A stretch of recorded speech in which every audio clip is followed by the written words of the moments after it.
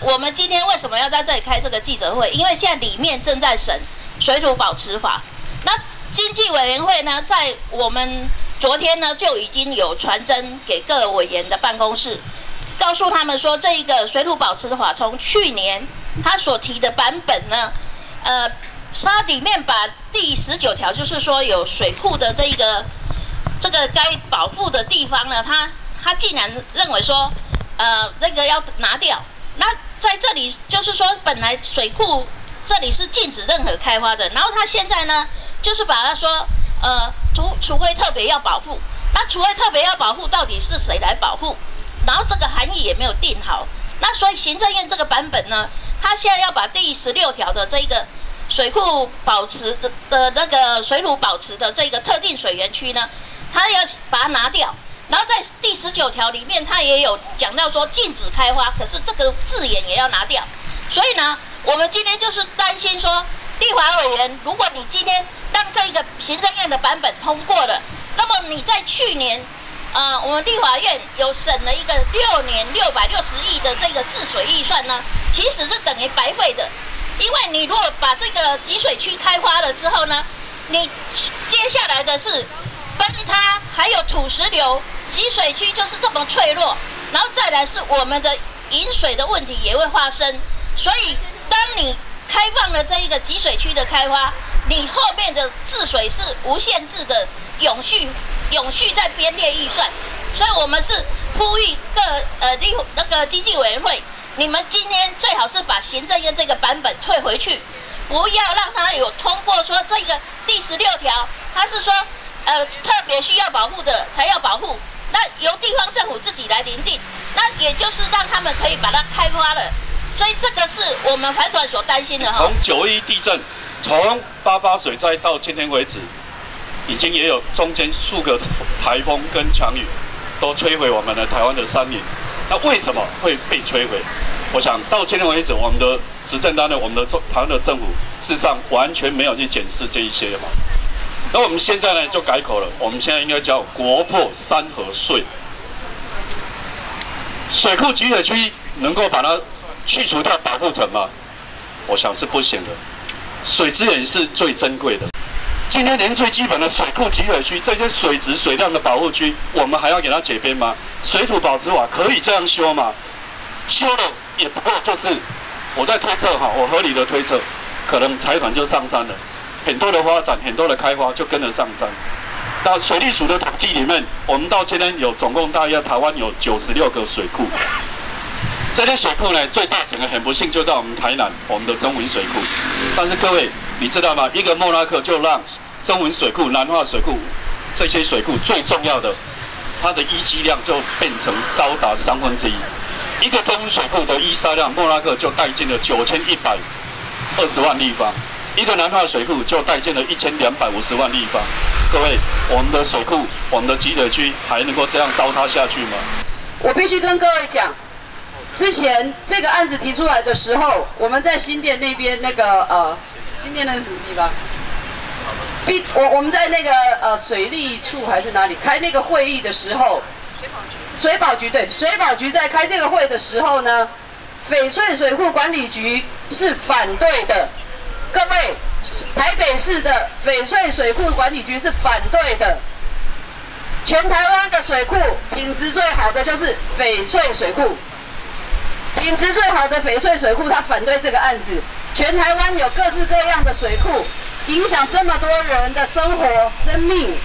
这一些已经微微可及的水库，现在政府要让它坏得更彻底。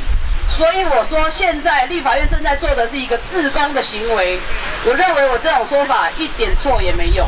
所以我希望各位，包括媒体以及我们所有朋友，为我们全台湾的人民的生命安全、生存品质，大家一起留下来，看看今天立法院他到底想搞什么鬼。谢谢各位。到是像比方说万大水库，它积水就好像是一般一杯水里面大概有百分之六十里面都是泥沙，有的甚至是高达百分之九十六都是泥沙。现在全台湾最危险的两大水库，一个是曾文水库，一个是石门水库，淤沙都是百分之六十。但是呢，大家都知道台中呃就中部地区吃水的一个地方是日月潭。那因为日月潭是吸引了很多观光客，我认为这个修法是为了中国大陆要来台湾去收购我们日月潭旁边的土地，好，还有就是像鲤鱼潭旁边的土地，还有德基水库之类的这些土地，然后去布的一个局，去修改的一个法。那我就是说，如果说你为了要发展经济，你连我们喝水的这个品质你都要去牺牲掉，好，还有包括说台中现在有学府缆车这个议题，因为那个是我们的大甲溪的上游，也是我们的石冈水坝的上游。然后你这一些上游的部分，你都要去让他们解编掉，让他们可以在那边盖饭店，可以在那边去在那边去盖饭店的，盖开民宿，好，然后连那个最基本的，本来这次修法，它连那个最基本的四十米的一个保护带，就是湖旁边这个日月潭的旁边，比方说这个日月潭的旁边，跟这个建物应该有四十米，他连这个都要去取消掉。哦，之前呢，好一听到这个议题，我非常的担心，非常的紧张，恐怕。我们的政府他开始派替呀，哦，因为我不相信说这一些高官他都不用喝水，他喝水可以喝进口的矿泉水，他总是要洗澡，总是要刷牙，总是要冲马桶。那包括就是农田水利的这个部分的资源都已经污染的很严重，他水土保持法应该要修修的更好，不是修的更差。他要修法是要修的更严格，不是说修的说哇，我这个水库周围的旁边的地都可以卖出来炒地皮。知道这个消息，我特地赶来这里。就是希望说，我们的政府在修法的时候，我印象很深刻。我小时候去到日月潭那边玩，然后我在万大水库看到那样淤积的场景，那样子的，呃，大量的淤积造成我们水库的使用率越来越低。然后我们看到政府现在要修法，想要把有需要保护的地方才纳入保护。那我在想的是，我们年轻人，我们下一代的时候，我们的用水的安全，我们看到我们台湾的国土的安全的保护，会不会越来的？越被政府这样子的修法去给修掉了，我们年轻人的下一代要看到的台湾的国土要是怎么样子，所以我今天特地赶来这里，就是希望说，希望政府修法的时候能够纳入我们的声音，谢谢。在这边要提出来，我们看到的是这个水保法的这个修法里头，它目前只有两个水库，它把它列入是需要特别保护的。哪两个水库很容易记，而且非常的特殊，一黑一白，一个是白河水库，一个是乌山头水库。那我们也知道，政府可能会以为说用这样子来叫做包山包海，因为一个是白河嘛，一个是河，一个是乌山头，一个是就是山头。但是实际上面，我们台湾有几十座的水库，那你只有把这两座水库列入需要保护。其他的通通要开放，这是非常危险的。那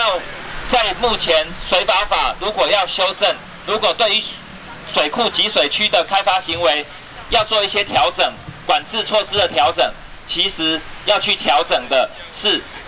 关于水库的这些开发行为限制的补偿的金额、这些经费的利用的管理，其实才是需要管理的。我们现在看到许许多多的这些回馈金。在地方反而变成地方政治人物的痉挛，反而变成地方政治腐败的来源。其实更应该管理的是这些经费的运用的方式，是不是能够更透明，能够真的用在水库的保护上面，而不是继续的开发，继续的破坏水源。捍卫水库水源安全，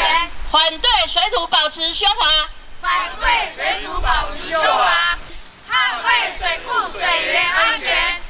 水土保持修法，反对水土保持修法。